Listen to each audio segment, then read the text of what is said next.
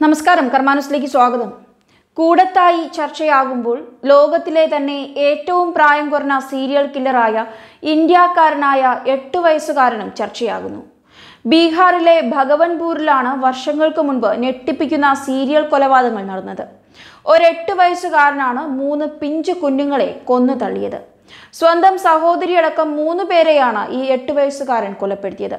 ലോകത്തിലെ തന്നെ ഏറ്റവും പ്രായം കുറഞ്ഞ സീരിയൽ കില്ലറായി കുപ്രസിദ്ധി ആർജിച്ചതും ഈ എട്ട് വയസ്സുകാരനാണ്. ബീഹാറിലെ ഭഗവൻപൂർ പോലീസ് സ്റ്റേഷനിലാണ് ഇതിനെക്കുറിച്ചുള്ള ആദ്യ കേസ് രജിസ്റ്റർ ചെയ്യപ്പെടുന്നത്.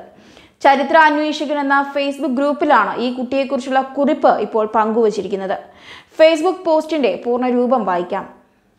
ലോകത്തിലെ ഏറ്റവും പ്രായം കുറഞ്ഞ സീരിയൽ കില്ലർ നമ്മുടെ നാട്ടിൽ എന്തിനാണ് ഇതൊക്കെ ചെയ്യുന്നതെന്ന് ചോദിച്ചപ്പോൾ അവൻ പതുക്കെ പോലീസുകാരെ നോക്കി പുഞ്ചിരിച്ചു. എന്നിട്ട് ബിസ്ക്കറ്റ് വേണമെന്ന് ആവശ്യപ്പെട്ടു. എങ്ങനെയാണ് ചെയ്തതെന്ന് ചോദിച്ചപ്പോൾ ഞാനവരെ പാടത്തേക്ക് കൊണ്ടുപോയി ഇഷ്ടികയെടുത്ത് മുഖത്ത് അടിച്ചടിച്ചു കൊന്നു എന്നാണ് അവൻ പറഞ്ഞത്. പോലീസുകാർ ആർക്കും ഒന്നും പറയാനുണ്ടായിരുന്നില്ല. ജീവിതത്തിൽ ആദ്യമായിട്ടാണവർ ഇങ്ങനെയൊരു കേസ് കാണുന്നത്. പട്ന നഗരത്തിൽ നിന്നും മനഃശാസ്ത്രജ്ഞൻ വരുന്നതുവരെ അവർ കാത്തിരുന്നു. അവരെ നോക്കി പുഞ്ചിരിച്ചുകൊണ്ട് ആ എട്ട് വയസ്സുകാരനും.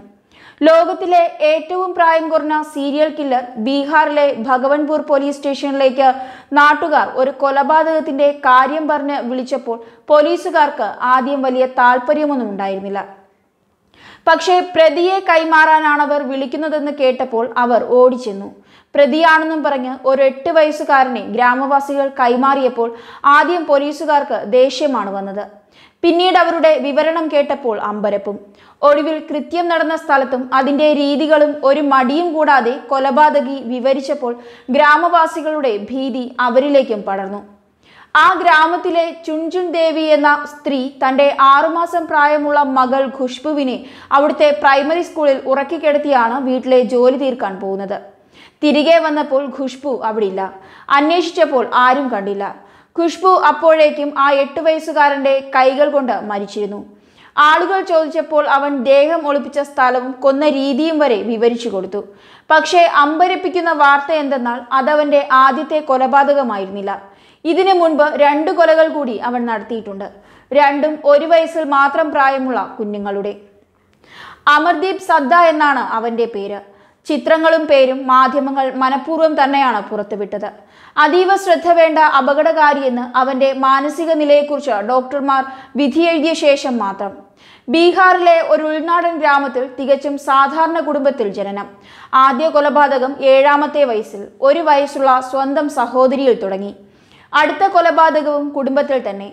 വകയിൽ ഒരു അമ്മാവന്റെ കുഞ്ഞിനെ. ആ കുഞ്ഞിനും ഒരു വയസ്സിൽ താഴെ മാത്രം പ്രായം. അമ്മയുടെ മടിയിൽ കിടന്നിരുന്ന കുഞ്ഞിനെ അമർദീപ് എടുത്തുകൊണ്ടു പോയപ്പോൾ ആദ്യമാരും സംശയിച്ചില്ല. അവന്റെ സ്വന്തം ചോരയല്ലേ. പക്ഷേ കുഞ്ഞുമായി വയലിലേക്ക് പോയ അമർദീപ് വെറും കൈയോടെ തിരിച്ചു വന്നപ്പോൾ വീട്ടുകാർ ചോദിച്ചു കുഞ്ഞെവിടെ? അവരെ കൂട്ടിക്കൊണ്ടുപോയി പുല്ലും കരിയിലകളും കൊണ്ട് മൂടി വച്ചിരുന്ന കുഞ്ഞിന്റെ ജഡമാണ് കാണിച്ചു കൊടുത്തത്. രണ്ടു കൊലപാതകങ്ങളും ഇങ്ങനെ തന്നെ. കഴുത്തിൽ മുറുക്കി ശ്വാസം മുട്ടിക്കും പിന്നെ ഇഷ്ടിക കൊണ്ട് മുഖമടിച്ചു തകർക്കും. മറ്റുള്ളവരുടെ വേദന കാണുന്നത് അവനൊരു വിനോദമാണ്. അറസ്റ്റിലായ ശേഷം അവനെ നോക്കിയ ഡോക്ടർ പറഞ്ഞ വാക്കുകളാണിത്. നേരത്തെ തന്നെ അവനെ ശ്രദ്ധിക്കാൻ കഴിഞ്ഞിരുന്നുവെങ്കിൽ ബാക്കിയുള്ള കൊലകളിലെങ്കിലും ഒഴിവാക്കാൻ സാധിക്കുമായിരുന്നു. കുടുംബത്തിൽ നടന്ന കൊലപാതകം എന്ന പേരിൽ അമർദീപിന്റെ ബന്ധുക്കൾ ആ രണ്ട് മരണങ്ങളും ആരെയും അറിയിക്കാതെ മൂടിവെക്കുകയായിരുന്നു അവനെ നഷ്ടമാകാതിരിക്കാൻ. പക്ഷേ അവന്റെ ഉള്ളിലെ അക്രമവാസന അധികകാലം അടങ്ങിയിരിക്കില്ലല്ലോ. അവരുടെ അയൽക്കാർക്കും ചില ഗ്രാമവാസികൾക്കും അവനെക്കുറിച്ച് ചെറുതല്ലാത്ത ചില സംശയങ്ങളുണ്ടായിരുന്നു.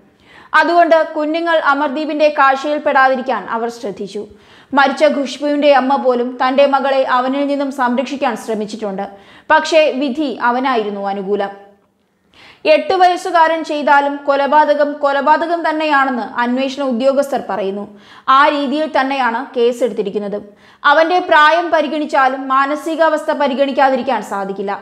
ആദ്യം പരിശോധിച്ച ഡോക്ടർമാരുടെ നിരീക്ഷണത്തിൽ സാഡിസത്തിന്റെ ലക്ഷണങ്ങൾ കാണിക്കുന്ന അവനെ പൂർണമായും ഭേദമാകാത്ത സമൂഹത്തിലേക്ക് ഒരിക്കലും തുറന്നുവിടാനാകില്ല. എയിംസിലെ സൈക്കോതെറാപ്പിസ്റ്റ് ഡോക്ടർ നന്ദകുമാർ പറഞ്ഞത് പ്രകാരം പാരമ്പര്യമായി വരാനും വീണ്ടും അടുത്ത തലമുറകളിലേക്ക് തുടർന്നു പോകാനും സാധ്യതയുള്ള അവസ്ഥയാണവന് അവന്റെ ഈ മാനസികാവസ്ഥയിൽ ശരിയും തെറ്റും തിരിച്ചറിയാനുള്ള പക്വത ഇപ്പോഴുമില്ലെന്ന് മാത്രമല്ല ഈ അവസ്ഥയിൽ നിന്ന് ഭേദമായില്ലെങ്കിൽ ഒരിക്കലും അവന് ഇതിനുള്ള കഴിവുണ്ടാകില്ല. കോടതി മുറിയിൽ ജഡ്ജിയെ നോക്കി പുഞ്ചിരിച്ചുകൊണ്ട് നിന്ന ആ എട്ട് വയസ്സുകാരനെ ജുവനൈൽ ഹോമിൽ മറ്റു കുട്ടികളിൽ നിന്നും അകറ്റിയാണ് പൂട്ടിയിട്ടിരിക്കുന്നത്. ഈ ലോകം മുഴുവൻ സംസാര വിഷയമായെങ്കിലും പിന്നീട് അവനെക്കുറിച്ച് അധികം വാർത്തയൊന്നും വന്നിട്ടില്ല. പ്രായം പരിഗണിച്ച് മൂന്ന് വർഷത്തെ ശിക്ഷയ്ക്കും അതിനേക്കാൾ നീണ്ട ചികിത്സയ്ക്കും ശേഷം under proper care and close observation പതിനെട്ട് വയസ്സ് വരെ ഒരു ചിൽഡ്രൻസ് ഹോമിലാണ് കഴിഞ്ഞത്. ഇപ്പോൾ ഇരുപത്തിയൊന്ന് വയസ്സുണ്ടാകുമെന്നതിനാൽ അവന്റെ നിർത്താൻ സാധ്യതയില്ല. നിലവിൽ കുറ്റങ്ങളൊന്നും ചെയ്യാത്തതുകൊണ്ട് സൈക്കോളജിക്കൽ ഇവാലുവേഷൻ പാസ്സായിട്ടുണ്ടെങ്കിൽ മറ്റൊരു പേരിലോ ചിലപ്പോൾ സ്വന്തം പേരിൽ തന്നെയോ ആൾ പുറത്തുണ്ടാകാനാണ് സാധ്യത. വേറെയും വിവരങ്ങൾ കേൾക്കുന്നുണ്ടെങ്കിലും സോഴ്സുകളൊന്നും തന്നെ അത്ര വിശ്വസനീയമല്ലാത്തതുകൊണ്ട് ചേർക്കുന്നില്ല. News desk Karma news.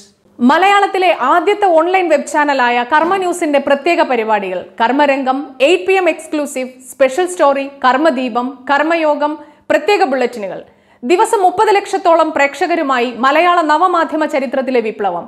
യൂട്യൂബിലോ ഫേസ്ബുക്കിലോ കയറി കർമ്മ ന്യൂസ് എന്ന് മലയാളത്തിലോ ഇംഗ്ലീഷിലോ ടൈപ്പ് ചെയ്യുക. പരിപാടികൾ തുടർച്ചയായി ലഭിക്കാൻ ഫേസ്ബുക്ക് പേജ് മറക്കാതെ ലൈക്ക് ചെയ്യുക. യൂട്യൂബ് സബ്സ്ക്രൈബ് ചെയ്ത് ബെൽ ഐക്കൺ ക്ലിക്ക് ചെയ്യുക.